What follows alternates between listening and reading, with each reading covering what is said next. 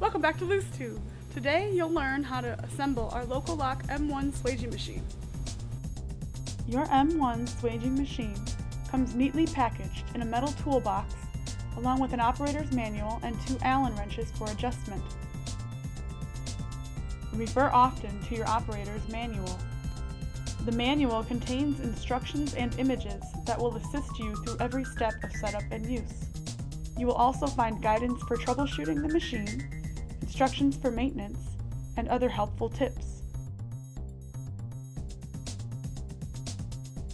Begin by removing your machine from the toolbox and lay it lengthwise on your workspace.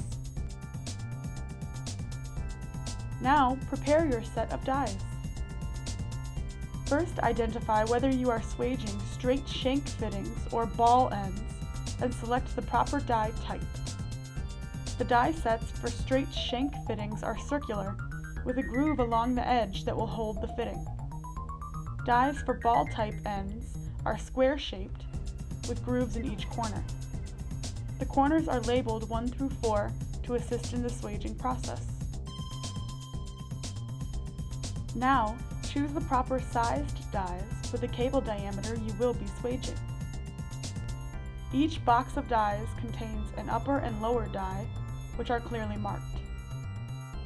Place the upper and lower dies onto the machine. There is a key notch to ensure that the dies will be properly installed.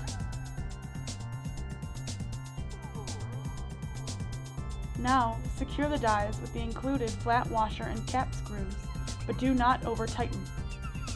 Simply turn by hand until the fit is snug. This will allow for the dies to move slightly if necessary and align properly with the fitting. Refer to your manual to select the correct feed guide and adapter for the terminal you will be swaging. If you are swaging ball ends, remove this adapter altogether. Place the feed guide onto the machine and use the included Allen wrench to secure it. Be sure not to fully tighten one side before the other. Alternate between them to ensure proper alignment.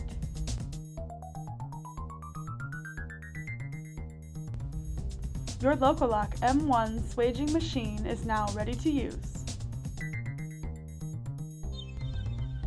Click one of the clips below for the next step in the swaging process.